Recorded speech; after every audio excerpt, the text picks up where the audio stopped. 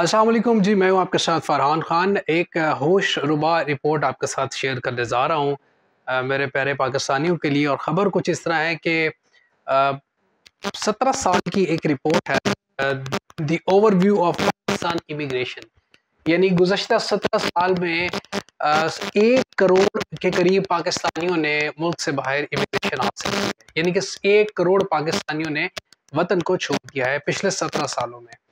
اور ایک اور ہوش ربا جو خبر وہ یہ ہے کہ تقریباً پچاس ہزار کے قریب پاکستان میں روزانہ کی بنیاد میں پاسپورٹس کی درخواست اب پیش کی جا رہی ہے یعنی کہ پچاس ہزار لوگ روزانہ پاسپورٹ کے لیے مختلف شہروں میں پاسپورٹ اپلائی کرتے ہیں، لیکن چونکہ پاکستانی پاسپورٹ کی جو کیپیسٹی ہے وہ سولہ ہزار کے قریب، یومیہ جو وہ پاسپورٹ ہے وہ چھاپ سکتے ہیں، لیکن آپ نے پچھلے دنوں دیکھا کہ ایک سسٹم چوک ہوا تھا چونکہ لوڈ بہت زیادہ تھا، ورک لوڈ کی وجہ سے پاسپورٹ چھپانے میں بھی مشکل آ رہی سیاہی کا پرابلم تھا۔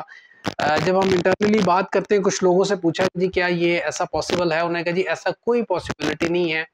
اس میں بھی بہت سی کرپشن اور بہت سی چیزیں شامل ہوتی ہیں کہ جس کی وجہ سے یہ چوک کر دیا جاتا ہے سسٹم کو روک دیا جاتا ہے۔ اور جو سیاہی ہے، وہ ڈیفینیٹلی وہ امپورٹ ہوتی ہے۔ کچھ پیپر ہے، وہ امپورٹ ہوتا ہے۔ جو انٹرنل رپورٹس ہیں، اس کے مطابق کہ جس کمپنی کو یہ امپورٹ یہ پیپر امپورٹ کیا جاتا ہے، وہ کہتی ہے کہ جی پاکستان ہم سے اکثر اس ہمارے پاس ریکویسٹ ہی نہیں آئی اسے امپورٹ کی۔ بہرحال پچاس ہزار کے قریب روزانہ کی بنیاد پہ پاکستان میں پاسپورٹ کی درخواستیں پیش کی جاتی ہیں۔ اور گزشتہ سترہ سالوں میں پاکستان سے ایک کروڑ لوگ جو کہ پاکستان سے باہر جا چکے ہیں۔ اچھا اب یہ جو ایک کروڑ لوگ ہیں نا ان میں ڈفرینٹ لوگ ہیں۔ ان میں امیگرینٹس بھی ہیں، ان میں لیبرز بھی ہیں، ان میں سکلڈ لوگ بھی ہیں نان سکلڈ لوگ بھی ہیں۔ ڈفرینٹ کلاس کے لوگ ہیں۔ اب بات یہ ہے کہ ہمارا پاسپورٹ پھر ہم جب پاسپورٹ کی بات کرتے ہیں پاسپورٹ کی ویلیو کی بات کرتے ہیں پاسپورٹ کی اہمیت کی بات کرتے ہیں، تو ڈیفینیٹلی جب ڈفرینٹ کلاسز کے لوگ جائیں گے ایز اے امبیسڈر جب ملک کو ریپرزینٹ کریں گے، اور اس میں ایک تعداد ہے پاکستانیوں کی جو انفارچونیٹلی جن کو ہم یہ کہیں گے کہ جو گلف ریجن کے اندر بہت سے پاکستانی جاتے ہیں، سعودی عرب میں بہت جاتے ہیں، یو کے اندر پاکستانی کی کثیر لاکھوں کے تعداد میں، یو میں پاکستانی ہیں، لاکھوں کی تعداد میں، سعودی عرب میں پاکستانی ہیں۔ اچھا اس میں اب انفارچونیٹ بات یہ ہے کہ ہم جب پاسپورٹ کی عزت اور احترام کی بات کرتے ہیں، جب پاسپورٹ کی ویلیو ڈاؤن ہوتی ہے، اس کی ایک مین ریزن یہ ہوتی ہے کہ جو ہماری بہت سی لیبر کلاس لوگ جب پاکستان سے باہر جاتے ہیں، تو وہ جو پاکستان کا جو امیج ڈیولپ کرتے ہیں، وہ انٹرنیشنل رینکنگ میں آپ کا جو ہے نا پاسپورٹ کاؤنٹ ہوتا ہے۔ اور دوسری بات، سعودی عرب کے اندر یو اے کے اندر ایک کثیر تعداد لوگوں کی جو خاص طور پہ سعودی عرب میں عمرے کے ویزے پہ جاتی ہے اور بہت سے گینگز جو پکڑے بھی ہیں، جو گینگز یہاں سے جاتے ہیں، وہاں پہ بچے بھی ہوتے ہیں، بڑے بھی ہوتے ہیں، بھیک مانگتے ہیں اور جاتے وہ عمرے کے ویزے پہ۔ اسی طرح یو اے کے اندر یو اے پولیس نے ہزاروں پاکستانیوں کو پکڑا اور انفارچونیٹلی اب تو یو اے نے بھی پاکستان کا یہ ویزا بند کر دیا اچھا ایک کروڑ جو پاکستانی ہیں ان میں ان کا جو رجحان، وہ گلف ریجن کی طرف بھی ہے۔ اس میں اب رومانیہ اور عراق کی جانب بھی ایک اور خوفناک خبر یہ کہ حال ہی میں پچاس ہزار زائرین جو عراق گئے اور پھر وہ بھی واپس نہ آئے، وہ بھی وہاں پہ ہو کے رہ گئے۔ اور بہت سے ایسے پاکستانی جو ڈنکی لگا کے جاتے ہیں، آپ سب یہ دیکھتے رہتے ہیں۔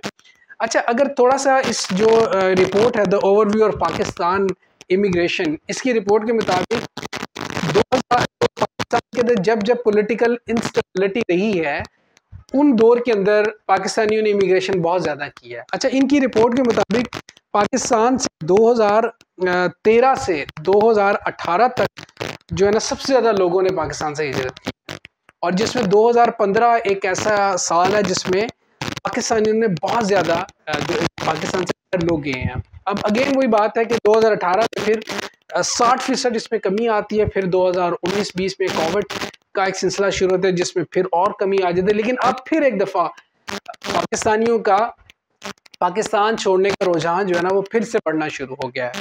پھر سے لوگ پاکستان سے باہر جانے کے لیے کوششیں کر رہے ہیں، کچھ کی لگانے کی کوشش کر رہے ہیں، کچھ جال ساز قسم کے جو امیگرینٹ ہیں، جو دو نمبر لوگ ہیں، ان کے پڑ جاتے ہیں۔